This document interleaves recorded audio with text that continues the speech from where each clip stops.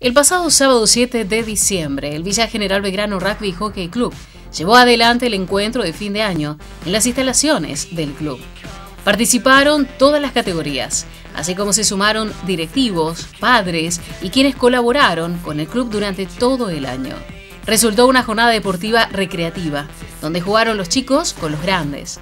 Asimismo, compartieron un almuerzo a la canasta y luego integrantes de la comisión y los coordinadores de cada grupo entregaron certificados a todos los chicos, así como a las instituciones que colaboraron como ser la municipalidad local, la cooperativa de Luz y Fuerza, la cooperativa de Aguas Corrientes y los sponsors que acompañaron durante el corriente año al club.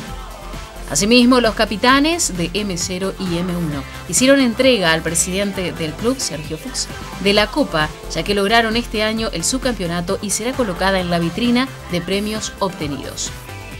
Así que resultó una jornada divertida, entusiasta para emprender nuevos desafíos para el 2020, cuya pretemporada comenzará en febrero próximo. Desde el club convocan a todos los jugadores, a quienes quieran iniciarse en el rugby, a que se acerquen al club. Los infantiles desde 5 años, así como los juveniles, las chicas y los de categoría superior.